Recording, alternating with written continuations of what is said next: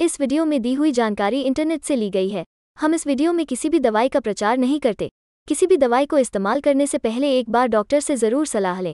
अगर आप इस वीडियो को देखकर किसी दवा का उपयोग करते हैं और आपको कोई साइड इफ़ेक्ट होता है तो उसमें हमारी कोई ज़िम्मेदारी नहीं होगी।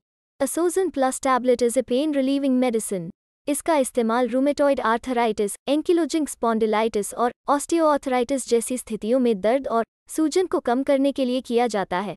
इसका इस्तेमाल मांसपेशियों में दर्द, पीठ दर्द, दांत दर्द या कान और गले में दर्द से राहत देने के लिए भी किया जा सकता है। असोजन plus tablet should be taken with और विदाउट फ़ूड आपको इसे नियमित रूप से अपने डॉक्टर द्वारा सलाह के अनुसार लेना चाहिए। आपके दर्द के लेवल और आपकी ज़रूरतों के अनुसार आपका डॉक्टर आपकी डोज और डोज के बीच समय के अंतर को बदल सकता है। डॉक्टर द्वारा बताए गए डोज से अधिक मात्रा में या अधिक समय के लिए इसका इस्तेमाल न करें। इस दवा के कुछ सामान्य साइड इफ़ेक्ट में मिचली आना, उल्टी, पेट दर्द, भूख में कमी, सीने में जलन और डायरिया यानी कि दस्त शामिल हैं। अगर इनमें से किसी भी साइड इफ़ेक्ट से आप परेशान हैं या समय के साथ वो ठीक नहीं होते हैं तो आपको अपने डॉक्टर को बताना चाहिए।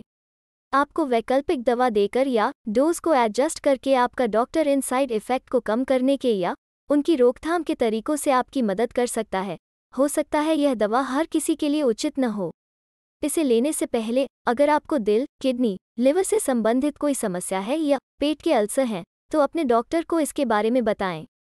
यह सुनिश्चित करने के लिए कि यह आपके लिए सुरक्षित है। अपने डॉक्टर को अन्य सभी दवाओं के बारे में बताएँ जो आप ले रहे हैं। गर्भवती और स्तनपान कराने वाली माताओं को इस दवा का इस्तेमाल करने से पहले अपने डॉक्टरों से परामर्श करना चाहिए। वीडियो को पूरा देखने के लिए धन्यवाद। अगर आपको वीडियो अच्छी लगी हो तो वीडियो को लाइक करें। और साथ ही हमारे चैनल को सब्सक्राइब करके नोटिफिकेशन बेल आइकॉन पर क्लिक करें और ऑल नोटिफिकेशन को क्लिक करें। धन्यवाद।